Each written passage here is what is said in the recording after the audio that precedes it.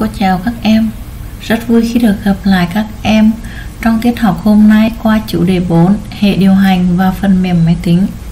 Nội dung của bài học này sẽ giúp chúng ta biết được hệ điều hành là gì, chức năng của hệ điều hành như thế nào, và như thế nào là phần mềm máy tính.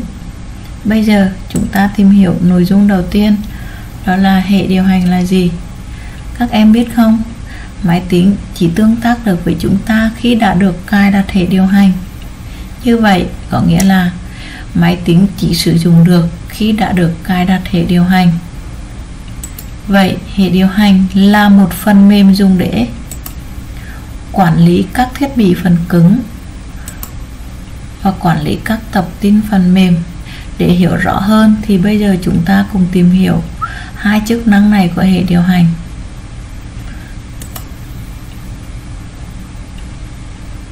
Chức năng thứ nhất là quản lý các thiết bị. Các thiết bị ở, ở đây là gì?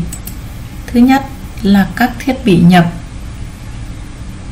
Thứ hai là quản lý các thiết bị xuất. Và thứ ba là thiết bị gì? À thứ ba đó là quản lý các thiết bị lưu trữ. Còn chức năng quản lý các tập tin ở đây là gì? Là quản lý các tập tin được lưu trữ trong máy tính. Nhận ra và nhận ra các kiểu tập tin để thực hiện các cái nhiệm vụ đó ha. Như vậy là chúng ta vừa tìm hiểu được hai chức năng của hệ điều hành. Chúng ta sang nội dung tiếp theo. Vậy hệ điều hành có vai trò gì? Làm trung gian trong việc giao tiếp giữa người sử dụng và phần cứng máy tính. Vậy thì nếu như không có hệ điều hành thì máy tính có hoạt động được không? Như cô đã nói,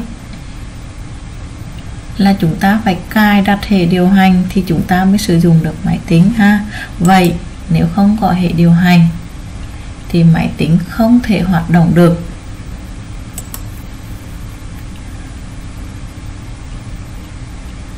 Có hai loại hệ điều hành. Là thứ nhất đó là loại giao diện người dùng đồ họa.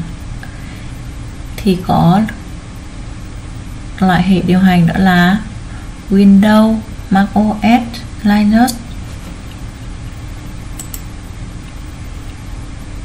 Loại thứ hai đó là loại giao diện người dùng ký tự.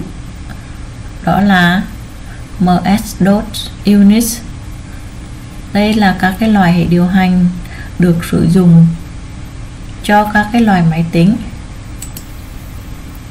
Vậy thì các cái thiết bị di động sử dụng hệ điều hành gì? Bây giờ chúng ta cùng làm quen. Thứ nhất đó là hệ điều hành iOS. Hệ điều hành iOS này thường được sử dụng trong trong các cái dòng điện thoại là iPhone, iPad. Loại hệ điều hành tiếp theo là hệ điều hành Android thường hệ điều hành Android sử dụng trong các cái dòng điện thoại của Samsung Ngoài ra, còn có các cái hệ điều hành như là Windows Phone được sử dụng trong một số cái dòng điện thoại thông minh ha. Rồi, hệ điều hành Symbian được các cái nhà sản xuất điện thoại sử dụng hệ điều hành này. Rồi chúng ta về tìm hiểu sang nội dung tiếp theo đó là phần mềm máy tính là gì? Phần mềm máy tính là một tập hợp các dòng lệnh để thực hiện một cái mục đích nào đó. Ví dụ như là phần mềm Word, Excel, Paint.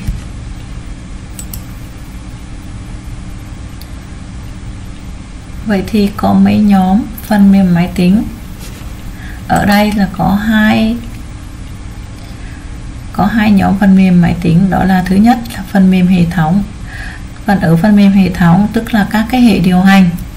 Và một cái loại nữa, đó là loại phần mềm ứng dụng. Loại phần mềm ứng dụng này là phục vụ cho các cái nhu cầu sử dụng máy tính của chúng ta.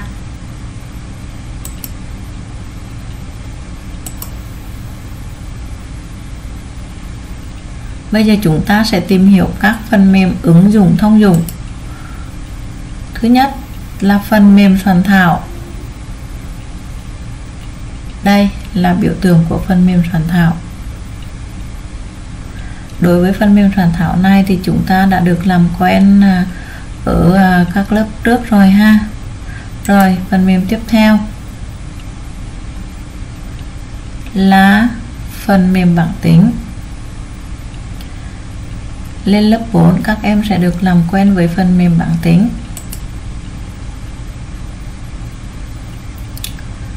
Phần mềm tiếp theo nữa, đó là phần mềm trình chiếu.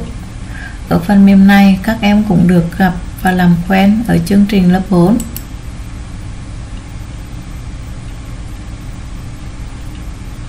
tiếp phần mềm thông dụng tiếp theo, đó là phần mềm giải trí Windows Media Player phần mềm này dùng để nghe nhạc, ha, xem phim. Vậy thì phần mềm máy tính có cái đặc điểm gì? Bây giờ chúng ta cùng lắng nghe và ghi nhớ. Phần mềm máy tính có đặc điểm gì? Thứ nhất, mỗi phần mềm đều có bản quyền. Tức là mỗi phần phần mềm đều có người phát minh và đã được đăng ký bản quyền và thứ hai mỗi phần mềm đều có yêu cầu về hệ thống. Ví dụ một số phần mềm à, phải yêu cầu về hệ thống như thế nào thì mới cài đặt được.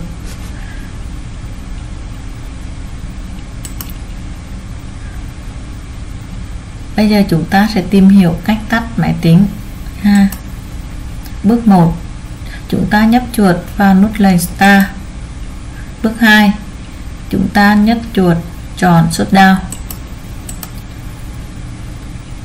bây giờ chúng ta sẽ tìm hiểu các cái chức năng trong trình đơn shutdown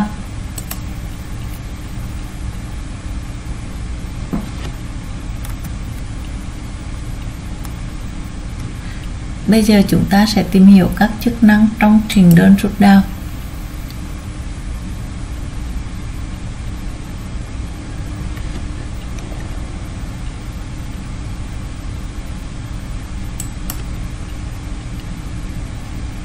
Bây giờ chúng ta cùng làm câu hỏi ôn luyện. Em hãy cho biết lựa chọn nào sau đây là hệ điều hành. Các em cùng suy nghĩ. Windows, Microsoft PowerPoint, màn hình, Microsoft Excel là hệ điều hành thì dựa vào các cái kiến thức mà chúng ta đã được học thì chúng ta dễ dàng thấy được hệ điều hành ở đây là Windows 7 ha. Rồi câu tiếp theo.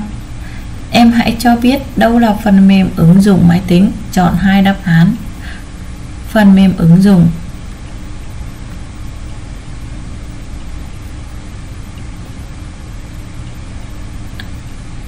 Microsoft Windows, máy tính Mac, Android và Microsoft Excel.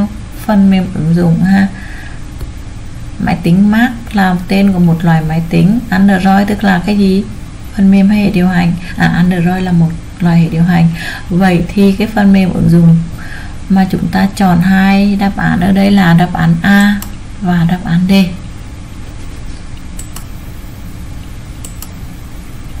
Bài học của chúng ta đến đây là kết thúc. Cô chào các em.